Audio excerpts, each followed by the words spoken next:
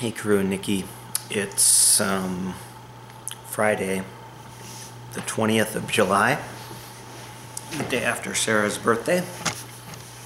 Sarah's now 44, and I'm home from work because I got hit in the head playing soccer yesterday. I have a minor concussion.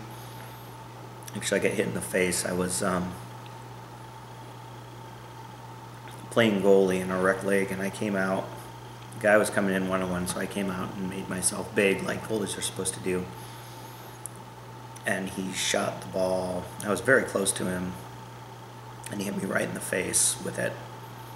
Right, you know, in the face, and I was wearing my glasses with the strap and the safety goggles, and he hit me in the face, and I don't. I'm a little fuzzy on what happened after that, but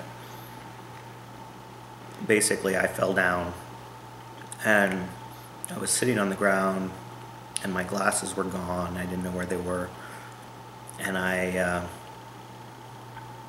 and I sat there for a while and I felt a little dizzy and disoriented. So I tried to stand up and I couldn't stand up. Um, I fell, I kind of fell over. And so eventually um, a couple guys helped me walk to the sideline. Um, and I felt kind of queasy and dizzy from. I'm I feel pretty much okay now, but um, yeah. So I um, I can think that's my fifth soccer concussion. So pretty exciting. Um, but it's one of those weird things where I had a headache last night, and um, not surprisingly, I slept well. But um, you know, I kind of feel okay, but I feel a little tired and a little off. I told Sarah, you know, when I had concussions in high school and college, during the time when I had them, I wasn't sure that I was really feeling anything. But after I got better, I realized that I was feeling something. And so I'm kind of at that point now where I'm not sure I, I kind of feel okay, and I'm supposed to play in the farmers market, play music this evening, and I think I'm going to go do that. I don't see reason why not to.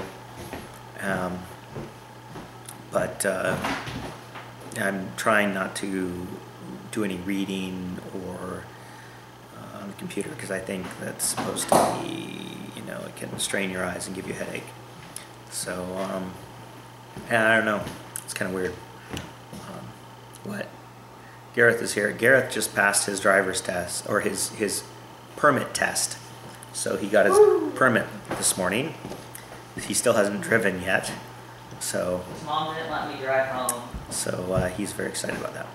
Anyway, just wanted to let you guys know, say hi, and and uh, hope you guys are doing well. Uh, maybe we'll somebody will take some video footage of farmers market this evening. I don't know, maybe not. Um, the other thing is we had a huge thunderstorm last night. We sat out on the porch and watched it. It was like, do you always like to come in this room and just make tons of noise when I'm trying to make a video? Is that your, is that your goal? You come in here and you bang around the plates and everything. Um, so yeah, uh, uh, oh, huge thunderstorm last night. We sat out on the porch and enjoyed uh, it, and it was, uh, you know, we had power flashing on and off, and it was probably we were out there for probably 40 minutes and it was just and at one point we were like it, the lightning was flashing constantly. And so Carew did a sample because he's a geek. And he counted number of flashes in a minute and he said it was at we were having the lightning strike an average every three seconds during that minute and it, it was pretty much like that the whole time i mean it was uh, we would have like just flashes everywhere all the time. I mean, multiple flashes every 10 seconds. And then, um, you know, we had four or five that were very, very close to where we were sitting. So, anyway, and then it rained like cats and dogs. So, uh, that's all I got. I'll talk to you uh, when I talk to you.